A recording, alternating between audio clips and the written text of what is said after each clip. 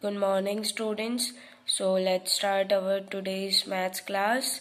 Uh, in the previous video, we did uh, uh, questions of exercise 2.4. There is one question left, question number 5, which is complete the following magic square. Magic square क्या था हमारे पास all the sum of the horizontal lines sum of vertical lines and sum of diagonal lines is equal ठीक है? इन सब का सम क्या होता है? इक्वल होता है हॉरिजेंटल लाइन कौन सी होती है?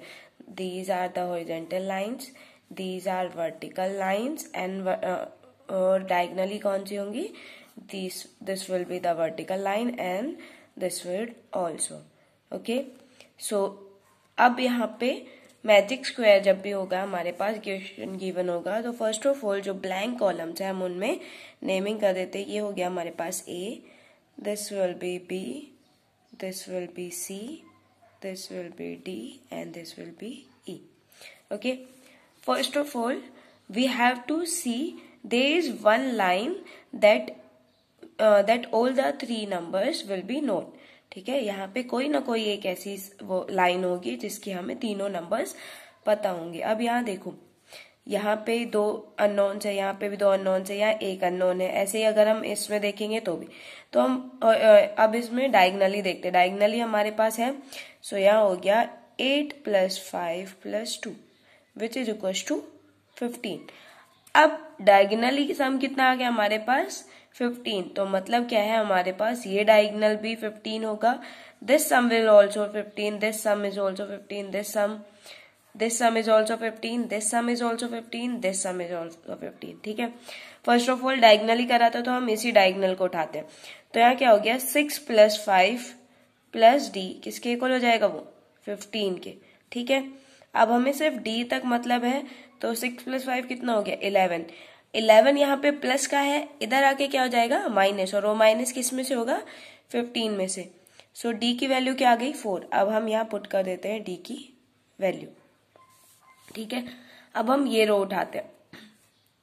This will be the vertical line so यहाँ है हमारे पास एट प्लस बी और डी हमने फाइंड आउट कर लिया। वो कितना है? फोर और किसके इक्वल हो जाएगा? ये वैल्यू भी फिफ्टींथ के इक्वल ठीक है? सो बी कितना आ गया अब हमारे पास यहाँ पे? फिफ्टींथ और माइनस ट्वेल्व क्योंकि एट प्लस टू कितना होगा? ट्वेल्व और ट्वेल्व इधर जाके क्या हो जाएगा? इक्वल टू के इधर जाके माइनस सो ये कितना आ गया? बी थ्री ठीक है, इसी तरह हम इसको उठाते हैं। लेकिन यहाँ पे क्या है, दो वैल्यूज़ अननोन है तो हम इसको अभी के लिए रहने देते हैं। यहाँ इसको उठाते हैं अब हम। ये कितना है अब? बी हम यहाँ लिख देते हैं। कितना आ गया अब हमारे पास? थ्री ठीक है, इस रो में देखो अब। Six plus C plus two किसके इक्वल हो जाएगा? फिफ्टींथ के। सिक्स प्लस टू कितना हो गया? एट तो फिफ्टींथ माइनस एट हो जाएगा अब हमारे पास सेवन ठीक है? अब अननोन्स कितने थे? कितने अल्फ़ाबेट फाइंड आउट करने थे हमें? A B C D E find out कितने कर लिया अब हमने? तीन और बाकी कितने रह गए? दो जो कि हमारे पास इसमें। अब हमने वर्टिकल लाइंस ले ली दोनों डायगनल्स ले लिए। अब हम ये वाली हॉरिजेंटल लाइंस उठाते हैं ठीक है? सो so, यहाँ पे इसको हम फाइंड कर सकते हैं। Eight plus A plus six eight plus A plus six किसके इक्वल हो जाएगा? वो भी फिफ्टींथ के इक्वल हो जाएगा। और ए कितना आ जाएगा? एट प्लस सिक्स होता है fourteen so fifteen minus fourteen हो गया वन ठीक है? ये इसमें कोई अननोन नहीं है, ये फाइंड आउट हो चुका है already then next term is four plus E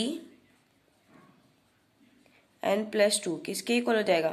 fifteenth तो ई e कितना आ गया अब हमारे पास? Fifteenth minus six which is equal to fifteen minus six हो जाएगा नाइन ठीक है? So same like this will यहाँ पे भी क्या करेंगे? यहाँ डायगनली वैल्यू पता है हमें। इनको अल्फ़ाबेट वाइज नेमिंग कर लेना एंड देन सेम ऐसे ही क्वेश्चन होगा जिन वैल्यूज़ की, जिन, जिस भी लाइन में दो वैल्यूज़ नोन हो और एक हमारे पास अल्फ़ाबेट हो तो हम उनको प्लस करके फाइंड कर सकते हैं। ठीक है? दो वैल्यूज़ का सम करेंगे और उसके साथ जो अल्फ़ाबेट है, दो वैल्यूज़ का सम इधर जाके हो जाएगा माइनस ऐसे ही ये करना है। इसमें कौन सी वैल्यू नोन है? यहाँ वर्टिकल नहीं दिख रही ना ही हॉरिजेंटल है सिर्फ़। ये वाली वैल्यू पता है तो सारा सम किसके होगा? इनका सम के इक्वल ठीक है सेम लाइक यहाँ पे है। इसमें क्या करना है आपको? इन तीनों का सम करना है ठीक है? जो इनका सम आएगा वही बाकी सबका सम होगा। ओके सो so, इसको मैं कर देती हूँ फोर्थ पार्ट को। यहाँ देखो इसका सम कितना है अब हमारे पास? थर्टी थ्री मतलब बाकी सबका भी सम क्या होगा? थर्टी थ्री अब यहाँ देखो इसको ऐड करेंगे टू वेरिएबल टू मतलब हमारे पास अल्फ़ाबेट है। इसको ऐड करेंगे तो ये तो हो चुका है। इसमें भी टू वो है। अब हम यहाँ उठाते ये भी दो वेरिएबल्स ये भी दो। और यहाँ पे सिर्फ़ एक है। तो हम यहीं से स्टार्ट करते हैं। Ten plus nine plus E किसके इक्वल हो जाएगा? थर्टी थ्री के। तो ई e कितना आ गया? थर्टीन थर्टी थ्री में से नाइनटीन माइनस करेंगे और विच इज़ इक्वल टू कितना हो जाएगा? अब हमारे पास ये फोर एंड वन ठीक है? फोर्टीन तो अब हमारे पास ये वैल्यू कितनी हो गई? फोर्टीन ठीक है? अब यहाँ देखो। हमने दो वेरिएबल दिख रहे हैं, यहाँ पे किसी भी लाइन में अगर कर रहे हैं तो हम डायगनली उठाते हैं। डायगनली में अब हमारे पास ये दोनों वैल्यूज़ पता है तो a plus eleven plus fourteen अब हमारे पास किसके इक्वल है? थर्टी थ्री के। सो so ए हो गया थर्टी थ्री माइनस कितना हो गया ये? ट्वेंटी फाइव सो कितना हो जाएगा ये? एट ठीक है? सेम लाइक सेकेंड डायगनल जो है, उसमें भी हमें दो वैल्यूज़ पता है और एक वो निकालना है तो क्या हो जाएगा? B plus eleven plus ten is equal to thirty three so B आ गया अब हमारे पास thirty three minus twenty one which is equal to two twelve okay so ये वैल्यू आ गई। हमारे पास ए कितना आ गया था? एट एंड बी आ गया अब हमारे पास ट्वेल्व ठीक है? अब यहाँ पे देखो, ये तीनों तो नॉन हो गए। सिर्फ़ बचे क्या है यहाँ पे? ये दोनों वैल्यूज़ अब इस वाली हॉरिजेंटल लाइन से तो हम नहीं निकाल सकते, क्योंकि यहाँ पे दो वेरिएबल्स हो गए। तो अब हम कैसे निकालेंगे? एक तो ऐसे और this will like this okay so so हम इन तीनों का सम करेंगे एन सी में से इसको माइनस करेंगे तो कितना आ गया? अब हमारे पास यहाँ पे फाइव फिफ्टींथ और इसी तरह same like this twelve plus D plus fourteen किसके इक्वल होगा? थर्टी थ्री और तो डी कितना आ जाएगा हमारे पास? थर्टी थ्री माइनस में इन दोनों के सम कितना होगा? Twenty six which is equal to seven ठीक है? तो बाकी सारे वेरिएबल्स यहाँ पे फाइन कर लिए। वेरिएबल्स मतलब होता है ये जो अल्फ़ाबेट आपने लिखे हैं, ये सारे वेरिएबल्स है। ठीक है?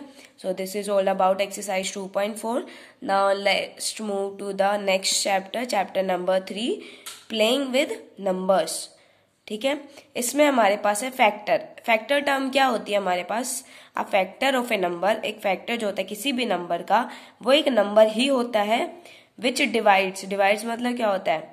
पता है डिवाइड करने के बाद so which divide that number exactly without leaving an any remainder मतलब फैक्टर एक तरीके से हमें उस नंबर को टुकड़ों में डिवाइड करना है जिसमें क्या हो कि जिस भी टुकड़े में अगर हम डिवाइड करते हैं तो वो नंबर उस गिवन नंबर को डिवाइड करे विदाउट लिविंग एनी रिमाइंडर मतलब पूरा पूरा डिवाइड करे, ठीक है?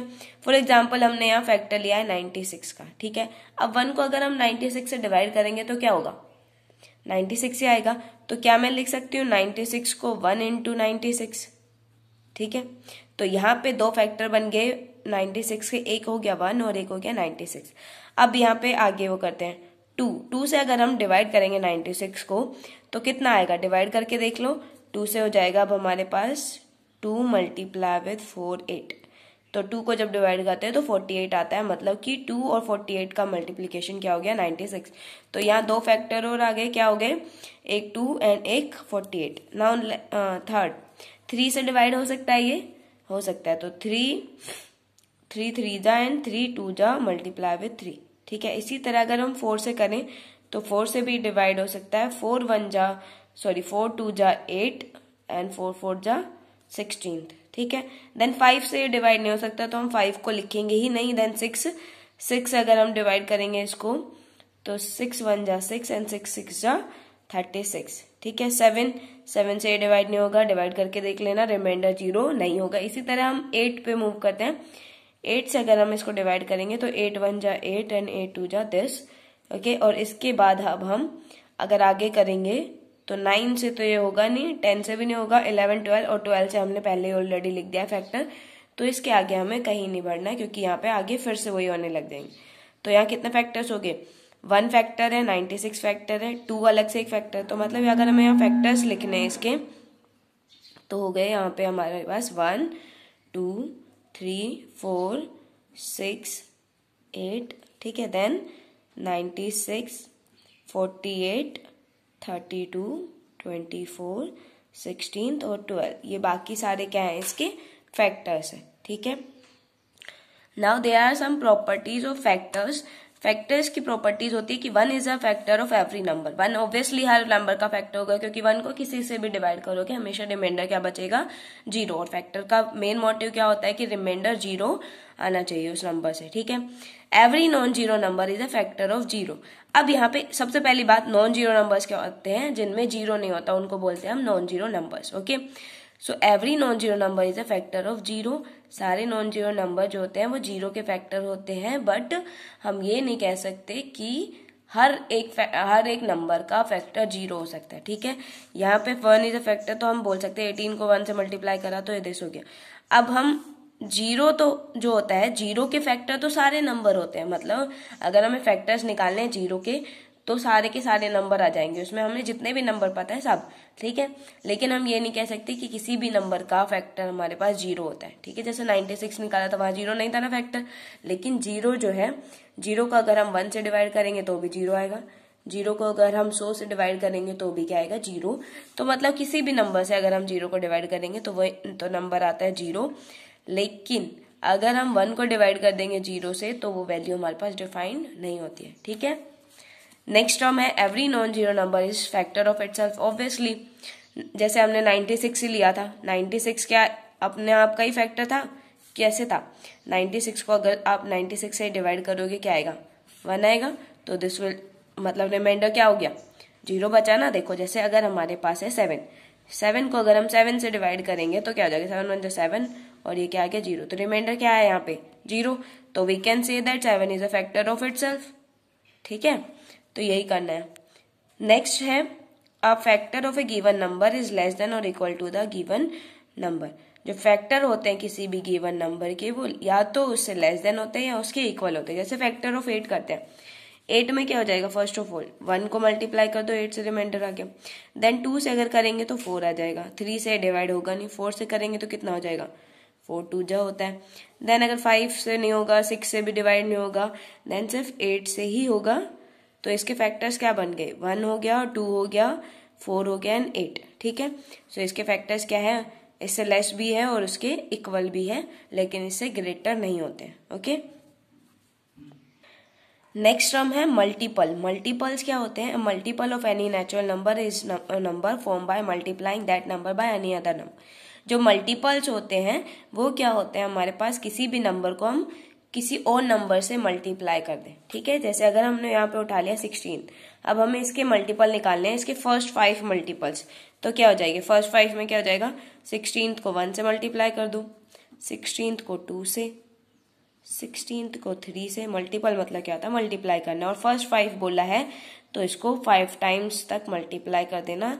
जैसे हम टेबल लिखते हैं सेम वैसे ही हो जाएगा ये, ठीक है? और सिक्सटीन फाइव का कितना हो जाएगा? एट्टी तो ये क्या है हमारे पास? First five multiples of sixteen ठीक है? So there are infinite number of multiples of any number because sixteen को हम किसी भी नंबर से मल्टीप्लाई करेंगे, वो सब क्या होंगे? इसके मल्टीपल ज़रूरी नहीं है, क्योंकि टेबल में लिमिटेड होते हैं वो टेन तक, लेकिन मल्टीपल्स में क्या होंगे? हमारे पास इन्फिनाइट नंबर से मल्टीप्लाई कर सकते हैं, ठीक है? That is all for today you have to learn all these properties uh, because these will use in exercise 3.1 okay